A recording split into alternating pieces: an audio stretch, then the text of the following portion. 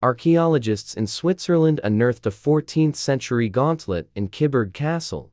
It was announced that an extraordinarily well preserved 14th century gauntlet was discovered during archaeological excavations southeast of Kyburg Castle in the Pfäffikon region of Switzerland.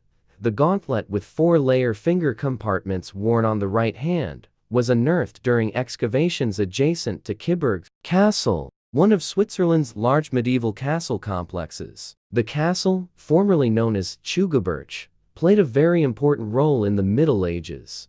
Described as the best preserved example of its kind found in Switzerland to date, the gauntlet consists of intricately joined individual iron plates. These plates were connected to each other with side rivets to create a flexible glove. The components were originally glued to a leather or fabric base, demonstrating meticulous craftsmanship. In particular, the preserved state of the gauntlet distinguishes it from previously known examples by allowing the recognition of numerous manufacturing and decorative details. The infrastructure department of the canton of Zurich emphasizes the rarity of such finds and says that only five 14th century gauntlets have been discovered in Switzerland to date, and none of them are as well preserved as the Kyburg gauntlet.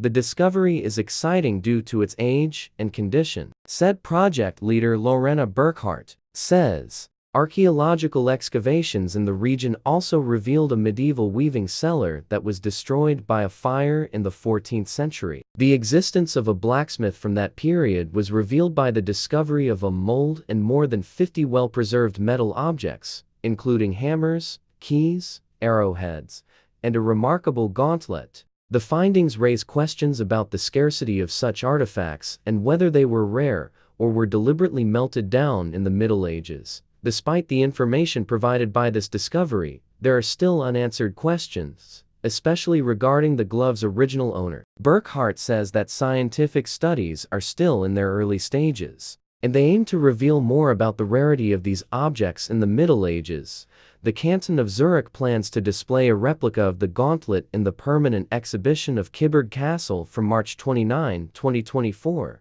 together with a reconstruction showing the entire set of armor.